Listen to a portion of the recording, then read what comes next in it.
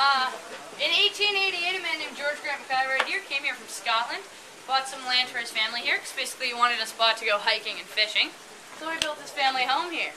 Right after he built this house, he realized that all the best fishing and hiking out of the entire 6,000 acres that he had bought was on the other side of the canyon. So he decided to build a bridge simply to get to the other side. So it said that how this bridge was built was that he built the entire thing on this side, anchored it down, threw it into the river with a whole bunch of extra rope coming off of it, they had local teenagers climb down into the canyon and swim across the river, climb back up the other side with the loose rope, attach it to horses, and then pull it nice and tight, and then anchor it down over there.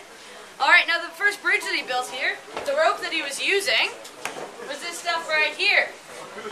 This is hemp rope. As you can tell, not very sturdy, but don't worry, this isn't the stuff we have out there today. Good. Alright, uh, now a bunch of people started showing up in his backyard uninvited because they had heard rumors of this giant bridge that had been built out here. And this made George Grant Mackay not very happy man because he wanted this to be a private retreat for his family and all of a sudden there was a bunch of strangers picnicking in his backyard. So he decided to sell this portion of the land. He sold it to a man named Bruno Stelzer. And he's the guy who replaced this hemp rope with this thin steel cable and then started charging 10 cents admissions to come see the Capilano Suspension Bridge. This was in the year 1903, so that was actually worth a little bit of money back then. Uh, and it also makes Capilano Suspension Bridge Vancouver's oldest tourist attraction, because it's been officially a tourist attraction now for 107 years. Alright, now after Bruno sells Stelzer on the bridge, he sold it to a man named Edward Vaughan, who you can see down here. Edward Vaughan was a wealthy man involved with the logging industry during its heyday, so very wealthy man, very successful. The one problem with his life was that he was lonely. He had no wife, he had no kids. So, on a trip to Victoria, he met this young woman sitting right next to him there, Lillette Rebec. They fell in love and decided to get married. So the problem with this was that when they met, he was 48 years old, and she was only 19. So, her mother, the severe-looking woman down here next to all the sharp, pointy objects, wasn't very happy about the idea of them getting married. So then he had to win over the mother as well. He did three things. First of all, he brought her to Capilano to be the very first manager here at the park, which she gladly accepted, but still wouldn't let them get married.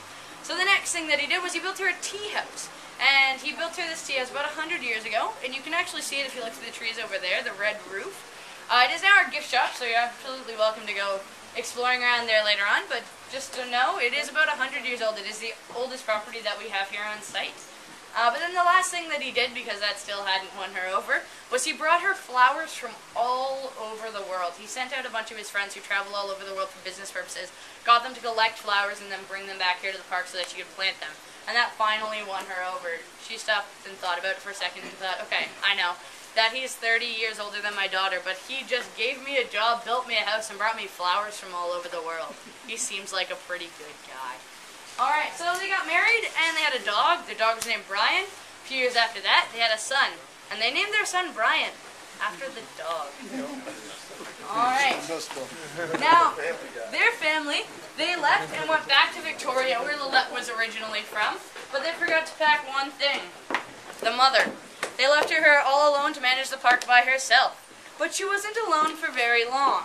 Because that's when she met this young man right here, Mac MacEachran. They fell in love and they got married.